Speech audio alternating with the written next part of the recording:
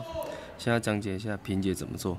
那一开始在打结的时候啊，你可以可以找一条不一样的颜色的绳子来示范。那我拿右边就是红色的这条来做示范哈。那首先呢，它的口诀就是同一条绳子压人家两次转两次，同一条绳子压人家两次转两次。我的压是由前往后叫压哈。好，那做一次哈。我拿红色的压白色的这一条哈，由前往后压下去之后转一圈。好，那红色的这一条呢，继续再去压白色的这一条。好，转一圈。好，这样就结束了，OK 吗？它的解是全部都平的，你再再怎么用力拉也都会是平的。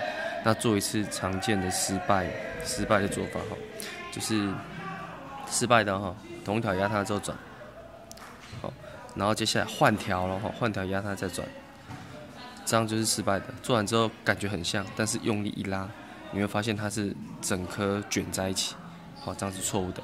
好，同一条压加两次转两次，然后呢平结有什么？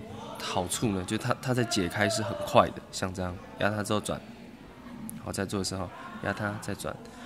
那假这样要怎么解开呢？很简单，把某一边好某一边假设就同一边的好，把某一边的绳子整个扯直，好假设把红色这边扯直，扯直完之后呢，哎，这样就可以解开了，直接抓住绳子拨开就可以。可在拨的时候，绳子这边不可以有单结，所以这边单结要先解开，好，它就可以整个拨开了。